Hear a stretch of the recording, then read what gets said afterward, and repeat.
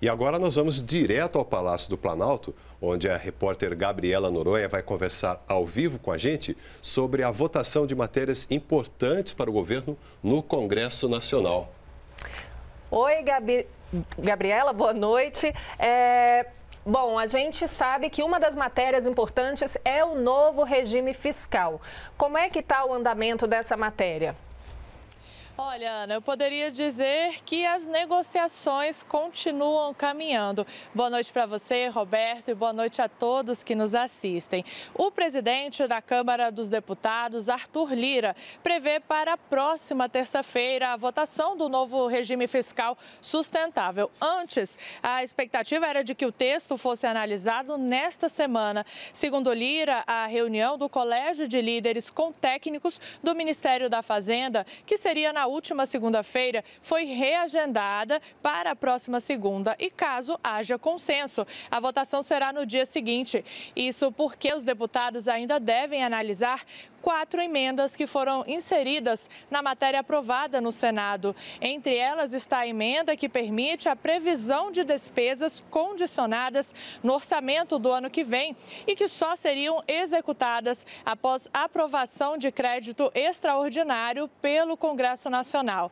Na prática, a emenda apresentada pelo senador Randolph permite que o governo gaste mais do que o previsto no orçamento desde que o Congresso Nacional autorize a despesa. Isso poderia ajudar o governo a investir em áreas importantes como saúde e infraestrutura, por exemplo. O marco fiscal precisa ser votado até 31 de agosto, que é o prazo final que o governo tem para enviar a lei orçamentária anual com os novos parâmetros. E apesar do adiamento desta semana, o ministro da Fazenda, Fernando Haddad, disse nesta quinta-feira que confia na aprovação do novo regime fiscal. Vamos assistir.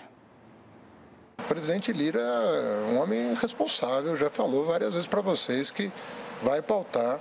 Tem dois textos, eles têm que discutir qual dos dois vai, vai votar no plenário, mas vem para a sanção presidencial, tem um novo marco fiscal, um marco fiscal elogiado no mundo inteiro, também muito negociado. Foi outra questão que nós mandamos. Trabalhamos internamente três meses, é, com a área econômica toda, planejamento, Casa Civil, MGI, é, MIDIC.